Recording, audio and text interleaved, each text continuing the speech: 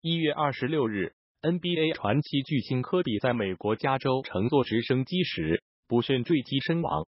与之同行的还有二女儿吉安娜，以及包括驾驶员在内的其他七名人员。坠机地点位于一处半山腰，当场无人生还。科比的突然离去让许多人难以置信和无法接受。事情发生后，迅速席卷全球，各界名流纷纷发文悼念，数以千万的粉丝挥泪在社交平台表达对偶像离世的不舍之情。去年八月，科比才刚刚满四十一周岁，正值一生中最黄金的年纪。退役才仅仅三年多的他，这个时候本应该好好享受生活，享受家庭的欢乐，但是还没等看尽世间美好，就黯然凋零。实在是令人遗憾和唏嘘。科比生前在篮球赛场上所向披靡，各种光环加身，荣誉无数。他成名的经历，那个著名的凌晨四点的洛杉矶的故事，激励了成千上万追梦的孩子。科比可以说是一代人的精神偶像。科比生前和妻子瓦妮莎共育有四个女儿，家庭幸福美满，二人甚至还将准备要第五个孩子。在退役之前。每当科比逢关键比赛，瓦妮莎总会带着女儿到现场为他加油。如今科比远去，一家人在赛场其乐融融的一幕成为绝唱。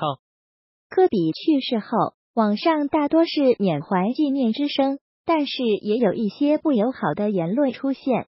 有网友嘲讽科比生前是一个出轨惯犯，甚至频率达到十年内出轨一百零五次。平均每年就要瞒着妻子约会十个女孩，在这些网友的眼里，这样的科比不值得人们争先恐后进行哀悼。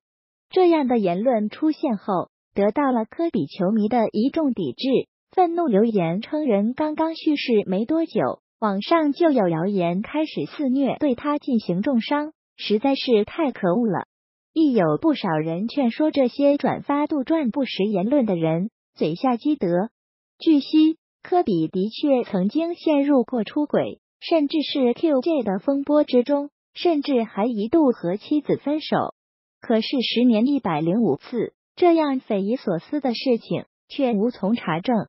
经过查证后，发现这一消息最早出现在外媒的八卦开栏里，所谓密友从未现身说法过，所以这段话根本没有说服性。科比生前虽然也经历过绯闻和负面事情，但是他在这个世界上给人们留下最多的仍然是美好的回忆。